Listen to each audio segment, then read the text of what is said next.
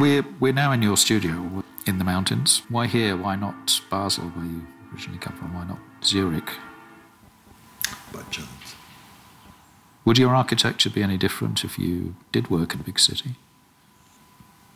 Maybe yes, but this has to do just because uh, now a lot of my biography has happened up here and at the same time in the world. This is the way I taught, like a master class kind of principle. That I tell these uh, young talented people that they are here to help me.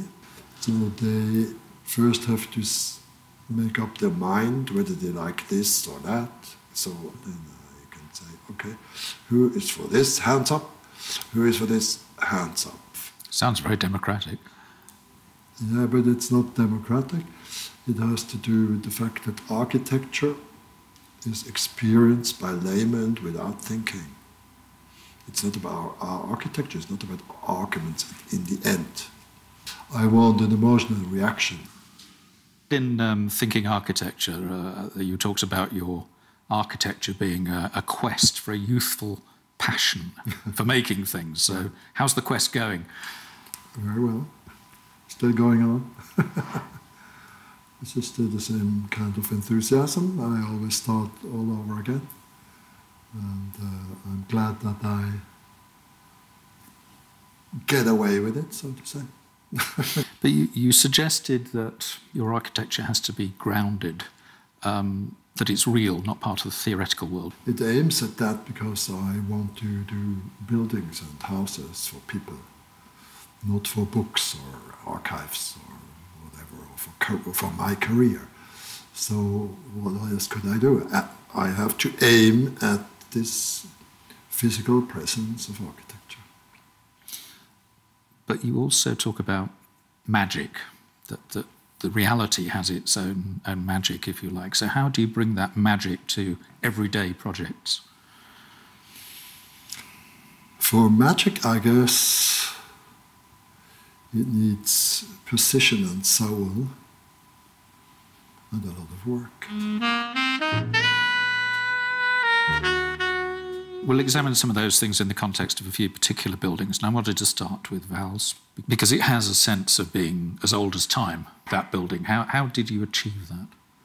This is what I wanted to, to achieve. This is important. I thought this should look like uh, timeless, classic. So this was sort of the, the idea to make a building which dates back and talks about older origins of things.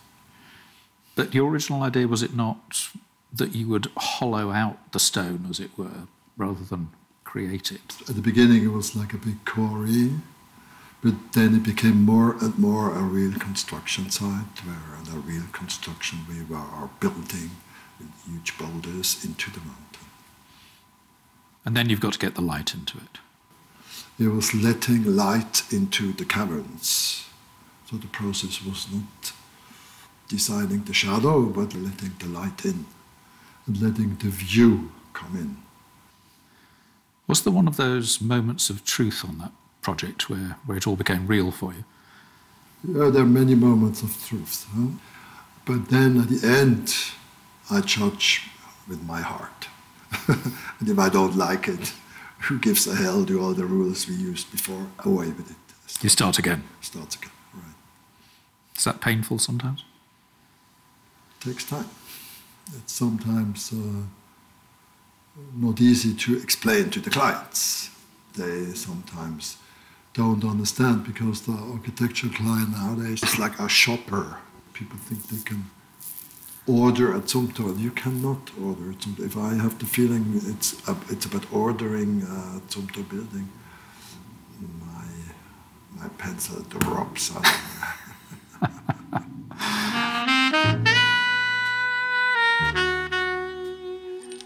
Let's turn to um, what I call one building on top of another. Let's start with the protective housing for the Roman remains in, in Chur. The interesting thing about, about the Chur building is that it's not hermetically sealed, it's not glazed, it lets the city in The shelter and it's open. It's like a hay barn. You can listen to the city. And uh, this is what I had to do. I had to give shelter to the rain and snow, but keep the inside outside temperature the same. No climatic barrier because this would destroy the walls. The next one I want to consider in this way is Kolumba, and, and this is perhaps a more sophisticated version in the way that you have protected um, the ruins, and yet there is still the, the air comes in. This sort of like uh, knitting on. This is not.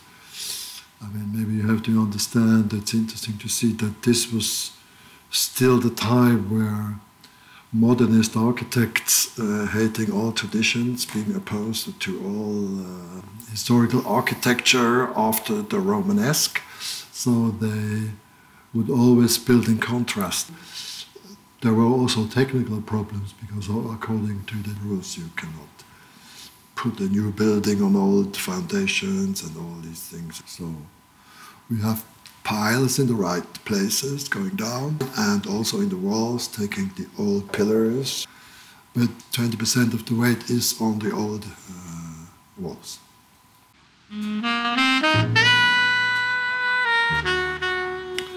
The Kunsthaus Bregenz is a Kunsthalle. There was no uh, collection. There was an idea to create spaces which would be airy and full of uh, this seascape air uh, atmosphere. This was there from the beginning. But it's a, it's a conceit, isn't it? Because it is a sealed building, but it appears not to be because of the open joints. It's uh, every building has to be sealed, otherwise you couldn't show any art. And actually, there's also an earth. This is a buffering zone going all around, so there is air uh, going up uh, and through. So this was uh, one issue from the beginning, and the other one is bringing in the light. Your buildings invite people in, but I think you've said you don't you don't want to be talked to all the time when you right. visit visit a building. What is it you dislike about noisy buildings?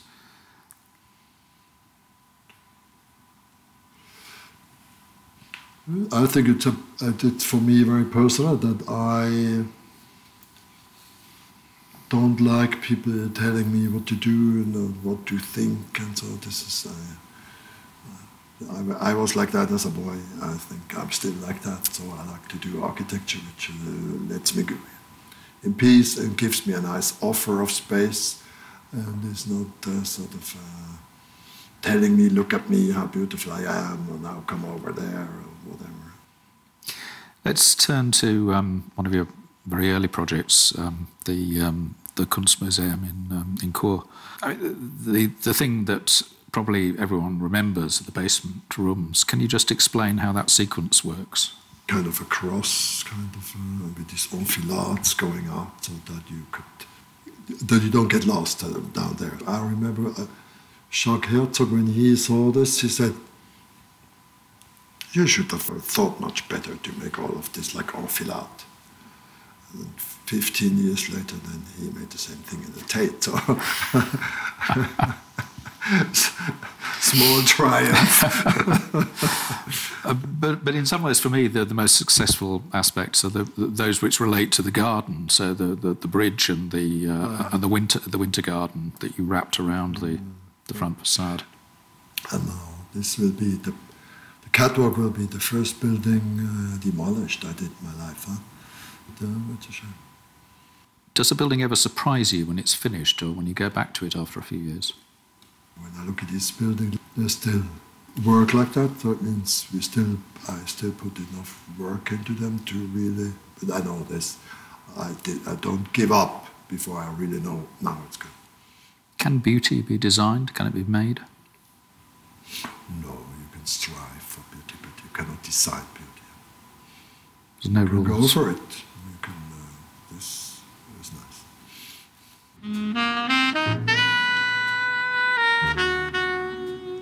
Let's look at some of those um, uh, more rural projects. Um, I went up to uh, to Leis uh, yesterday. Um, the parts were prefabricated, I understand. Um, is that a method that interests you? I never start with a method or with a material or like that. I start with the idea or the dream of a house. And then afterwards, I find the right material and the right method and the right construction. This then has to do with the site. The site, the place, always informs my buildings. Two very small projects now the, um, the chapel at uh. The chapel has to, to be, for me, it had to be elemental. And that you have the inside space and the outside form being more or less identical, a unity in a way. It's a feminine building, isn't it? Are all your buildings feminine? Hopefully, this will be nice. The other small chapel that I've visited, the Bruder Klaus Kapelle in Germany, how, how did you achieve the, the burnt interior? Well, we made this Indian tipi from tree trunks, and then we poured the concrete in layers around it, and then we burned the trees inside so that we can easily take them off uh, their uh, irregular imprints on the of the concrete. I like the fact that then you would have the presence of fire still there. I think your architecture is important to, to young people, particularly because it excites them about the possibilities of architecture. That must please you. Yeah, this is a great compliment. This is fantastic. And yet, for all your writing, it's the buildings that, that, that remain. So, what do you hope that they will do for people in, in future years? The buildings, this would be great if they would really be appreciated, uh, maintained, uh, loved by people.